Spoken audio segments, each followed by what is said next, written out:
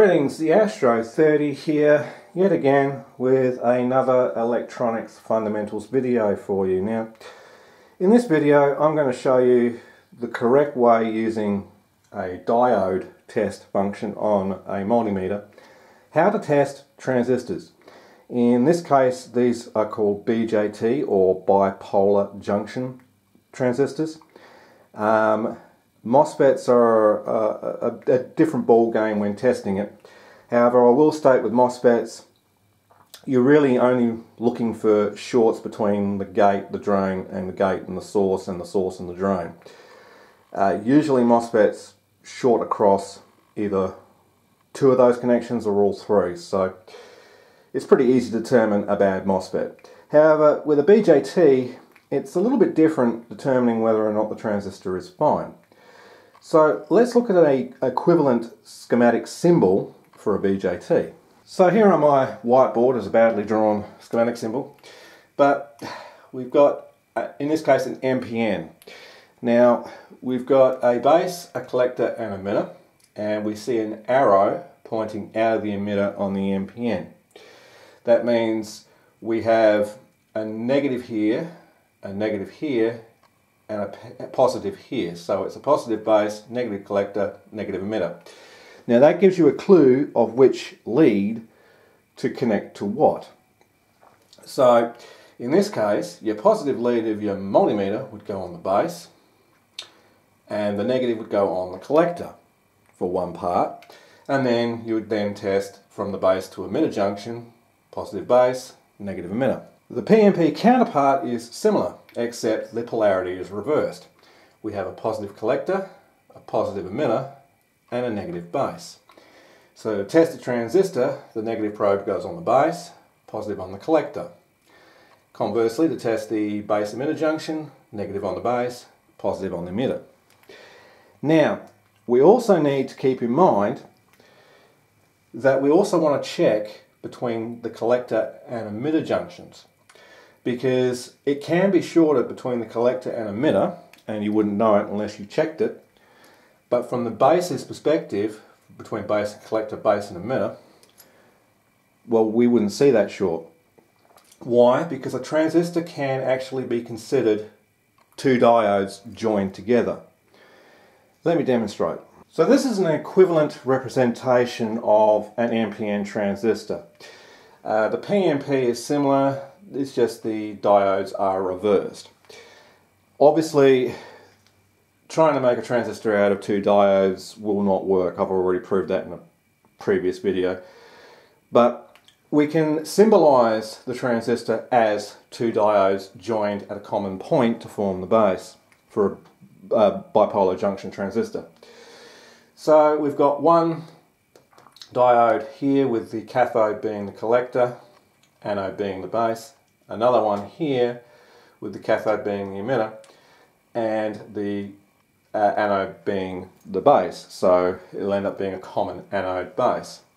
Now, we may see a dead short between these two junctions. And that could be because that something internal to the transistor has actually welded itself together because it went past the safe operating area curve of that transistor. It was overvolted, too much current was flowing through it, inadequate heat sinking, stuff like that. And something's just melted and welded itself together between the collector and emitter. And on a lot of the power transistors, the collector and the emitter pins are uh, next to each other, so it would stand to reason how that would happen. On the signal transistors, well, they're not usually, it depends on the transistor. However, we may see a short here, but from this perspective, we still have a working diode junction, and the same here. Unless, of course, and it does happen, we can end up with a short across here, and a short across here, as well as a short across there, so all three pins are shorted together. That is also a possibility. But sometimes we only ever see a short across between collector and emitter, and the base collector and base emitter junctions appear to work fine.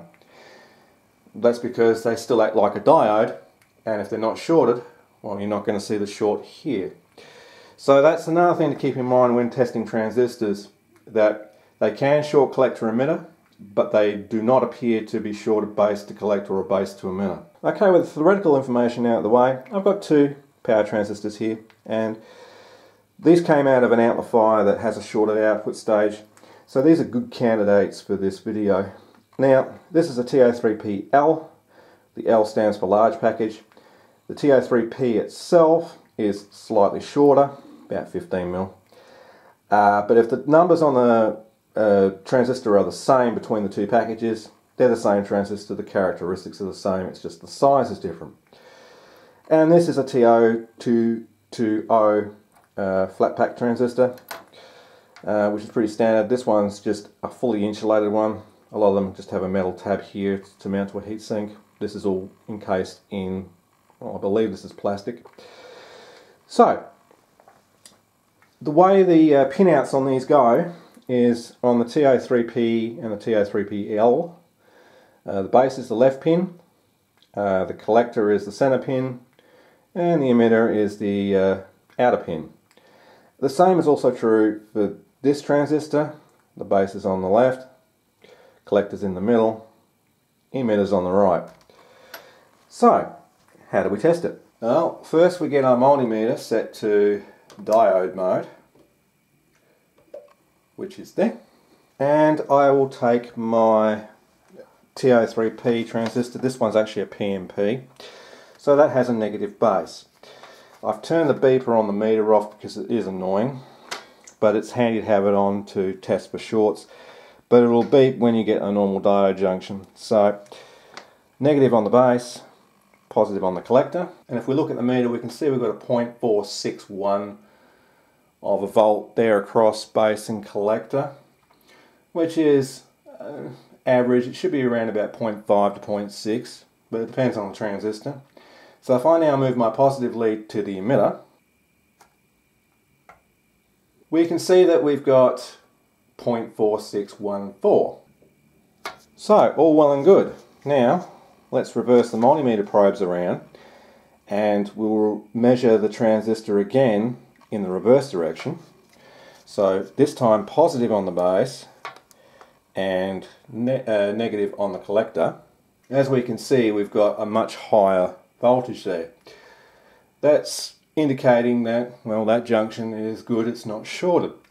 Let's now move to the emitter and as we can see pretty much the same. Alright, now remember how I said we should test between collector and emitter? Doesn't matter in this case which way around the probes are.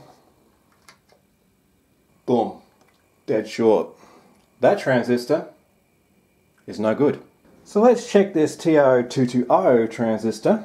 Um, this is also a PNP, so it has a negative base.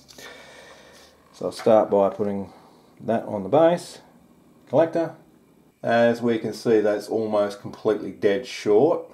Now if I go across to the emitter, well, the junction looks alright. However, the base to collector does not. So let's reverse the probes around like we did in the last one. Base to collector, almost a dead short. Now from base to emitter, appears to be alright. However, the transistor is no good. And visually, it actually has a hole in it. So, that transistor is done just like its other one that I tested there before. Now let's look at a good working transistor. Okay, and this is a known working transistor. Well, at least it was to start with. I don't know if it is now. But uh, this is a TIP35C. This is an NPN. And it's in the standard TO3P package. And that's what they look like. Now, still base collector emitter. It's just in this case, we put the positive lead on the base and the negative on the collector and emitter, respectively. So let's start testing this one. Positive on the base, on the collector. That's a good junction. Move over to the emitter. That is also a good junction. Reverse the polarity of the leads around. So now we have the negative on the base Positive on the collector, completely open. On the emitter, also completely open. Now for good measure, collector to emitter, and again also completely open.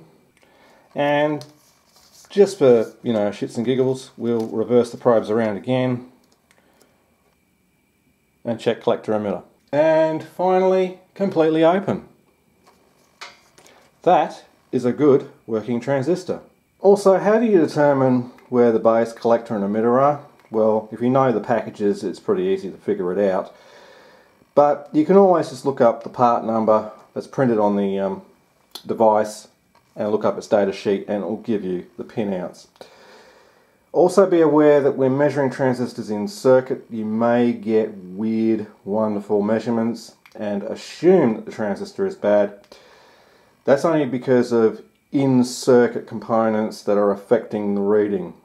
It's better to take the transistor out of circuit and test it again just to verify that it is actually bad or good, whichever the case may be. Well, I'm going to leave this video here and I hope someone found this useful and enjoyable. If you did, please remember to go down below, like, comment and subscribe if you haven't done so already. And this is the Astro 30 saying, see ya, thank you for watching, I'll see you in the next video.